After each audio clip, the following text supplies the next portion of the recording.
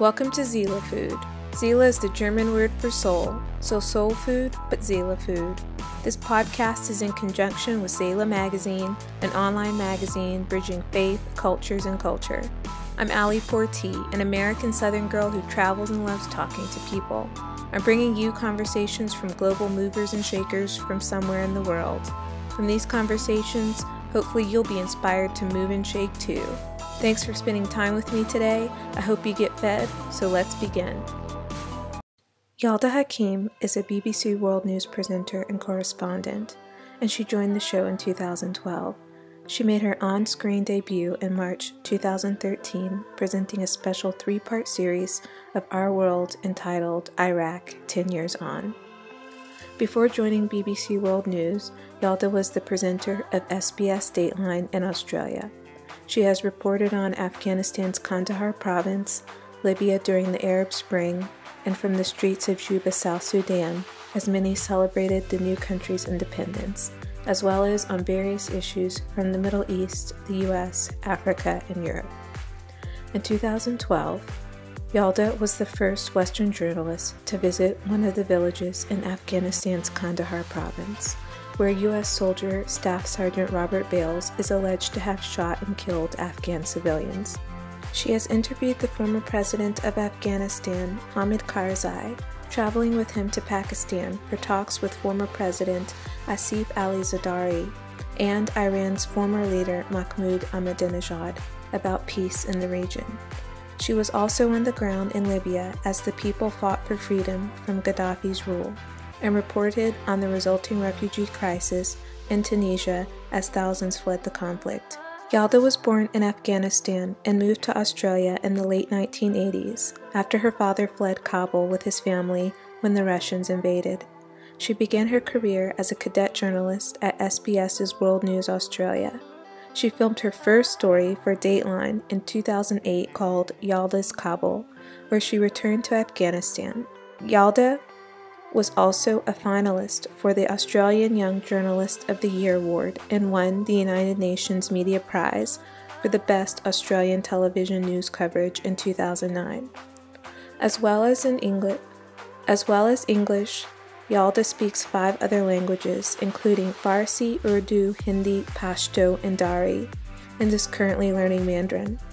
I sat down with Yalda, or should I say, I had the privilege of sitting down with Yalda two weeks ago in London at the BBC headquarters, where we talked Afghanistan, women, and journalism. Enjoy this interview with BBC World News presenter and correspondent Yalda Hakim. Yalda, thank you so much for making the time to chat with me today. uh, yeah, so I'll jump right into it. How old were you when you left Afghanistan? So I was six months old when my family fled um, what was then the Soviet invasion of Afghanistan, and they migrated uh, from Afghanistan to Pakistan, mm-hmm. and then um, after a couple of years of being in Pakistan, they moved to Australia. Okay, and are you happy that your family? Left Afghanistan, although it's your home, it's where you're from, but moved to Australia where you're able to have better opportunities? Yeah, I mean, I frankly consider Australia my home because I spent the bulk of my upbringing there. Afghanistan I see as the country of my birth mm-hmm. and a very special place that I will always have a very strong connection. But my upbringing um, and my education and my support network are all in Australia. So I do consider Australia um, my home, and it's not, um, you know, um, an irony that um, Australia is called the, the land of opportunity. It mm. really is, and um, it's it's given me my big breaks and uh, a solid education and um, a great foundation. So I'm forever grateful. Wonderful. And did you always aspire to be a journalist? Yeah, absolutely. I mean, I think I, from a very young age, I wanted to be a storyteller. I mm. wanted to uh, travel to places and um, highlight various different issues, uh, issues around social justice and women's rights were often discussed in my household. So it was something that I was very much aware of. Um, and of course, my family um, fleeing the Soviet invasion. So when um, the, the, the so- Soviets left Afghanistan and then the end of the Cold War, these were all significant moments in my family's life because of their journey and therefore significant in my life. Yeah. And then it's very interesting that they would discuss women's rights coming from the culture that Afghanistan has towards women. How is that? Were your parents just very liberal? Yeah, I mean, I think they were incredibly progressive. Both of them are highly educated, middle class. Um, a couple who have three daughters and one boy. And my father, I would consider a feminist, um, and he very much um, advocated for us and the importance of having um, a solid education and for his girls to pursue um, the line of work, the kind of career that they wanted. He was very much our champion and remains that. Okay, wonderful. Any advice to people who are aspiring to be journalists? Um, I did not study journalism. I did history and international relations, but I took a short course and fell in love with it. So, it, it is, and it's an extraordinary field. And uh, you're sitting here at the BBC. Um, uh, newsroom, and you can see just everything that's going on right right across the world from all of our correspondents. So um, it, it's somewhere I love being. I live and breathe um, the job, and for me, it's not really a job; it's a passion, and it's. Um, I think it's really important to remain persistent. Um, it's it's a tough industry, and um, you know you have to um, remain um, determined, persistent, motivated, and uh, first and foremost know that um, you know the story is the most important thing, and getting it right. Yeah. And any advice on? Do you advise that someone just start a blog or start a vlog or you know it's, fun, it's funny because in the last um, my career now spans more than a decade. I, I started um, working sort of um, in as a 19 year old while I was at university and then in my early 20s. Mm-hmm. Um, so for more than a decade I've been doing this um, mm-hmm. and I think the times are very different in that in that period. You know, um, social media plays such a huge role. People are able to create a platform for themselves um, using using video and um, and using blogs and things like this. So um, I think there are so many more opportunities. Actually, um, it was such a closed off um, uh, sort of industry when I was growing up in Australia, and now it feels like the world has opened up and become much smaller. So I think there are so many opportunities opportunities out there for young people, but I would never underestimate the power of doing work experience, you know, reaching out to people in the industry, getting advice. Um, for me, it was, um, it really was about um, surrounding myself with people who were within the industry and um, seeking their advice and being motivated and determined to get to get into this field. Okay, wonderful. Um, so one time I had a business trip in Toronto and I spent the whole time watching Al Jazeera, seeing like all the the news uh, stations, and I began to be depressed by the end of the week because you know this earthquake here, this tragedy here. Uh, does that ever get to you?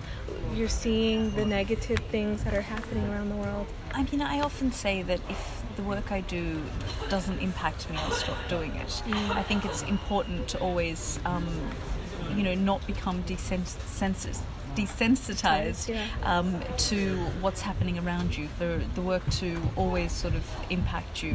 Um, and that is the reason I keep going again and again to some of the most hostile places on earth. Mm. Um, yeah, I mean, you know, sadly, good news doesn't necessarily make news. Um, and um, actually, as much as it feels like um, globally the situation is grim and there is much more devastation. Actually, we live in probably the best time in history, and uh, poverty levels are at their lowest. And you know, you can look at a range of statistics that, that talk about the fact that um, we are in the best period in history. Um, on, for a range of um, reasons, and so um, while we do see so much devastation, I actually always remain quite hopeful and positive as well. Oh, that's good. That because that was my next question. Do you have future or hope for the future for the world, for Afghanistan, for women? Yeah, I do. I do. I think I, am a strong believer that things don't always remain the same. That things evolve and change. And um,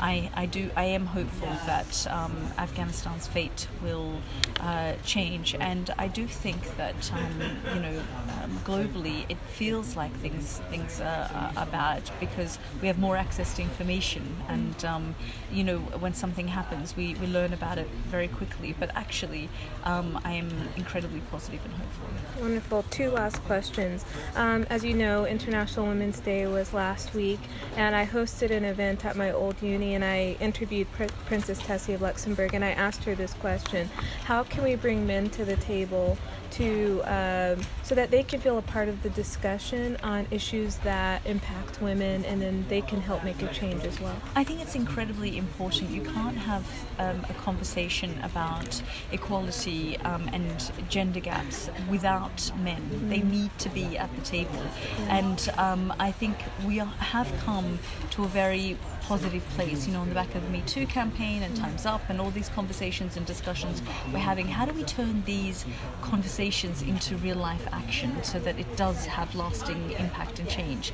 And I think um, I often tell people, you know, change comes from within the home. The conversations that you have with your children or with your partner. Um, these sorts of things happen within the home and the community and then you know the wider society and, and then globally so i think it's really important there are a lot of um, great men out there who um, are champions for women. And I've often said that my career um, and how far I have come has a lot to do with the role of um, strong men who have not felt intimidated by a woman coming through the ranks and having a seat at the table. Like your and father being absolutely. the first man. Yes, yes. And I've often had very strong male role models in my life, and I mm. think they exist, and it's really important to highlight their important work and presence in the work of, of women everywhere. Yeah, wonderful. Okay, last question. What would you tell your 16 year old self?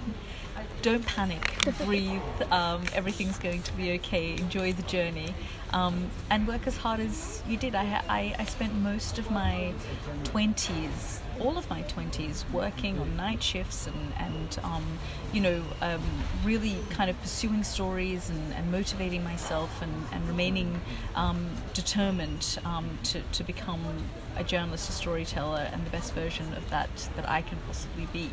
And um, I would feel that I would tell my 16 year old self to just calm down a bit, but mm. remain as driven. Wonderful. Thank you so much. No, not at all. Thank you. Thank you. Wonderful. Awesome. Thank you. Thanks for coming by. I hope that you enjoyed this interview with uh, Yalda Hakim, uh, the World News, one of the World News uh, presenters and correspondents. Uh, she's a very kind, down to earth woman, and it was inspiring uh, being in the room, the, the newsroom, seeing uh, all the journalists, BBC World staff at their desks as the world news was going by on computer screens, on TV screens. Uh, the news doesn't stop and it keeps going 24 7. And being in that environment was inspiring. Uh, until next time, see you on the next interview. Hope you enjoyed this podcast conversation and that it fed you in some way to pursue your own dreams.